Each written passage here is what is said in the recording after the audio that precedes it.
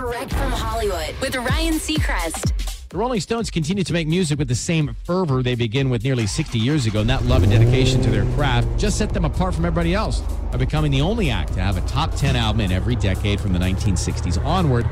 It's thanks to their new album, Hackney Diamonds, which just debuted at number three on the Billboard 200 chart. Their first top tenor was 12 by 5 back in 1964. They went on to land 13 top 10s in the 60s, 12 in the 70s, 6 in the 80s, 3 in the 90s, and 2 in the 2000s, 1 in the 2010s, and now their latest in the 2020s. 38 total, the most in music history. Hackney Diamonds is out now. That's direct from Hollywood.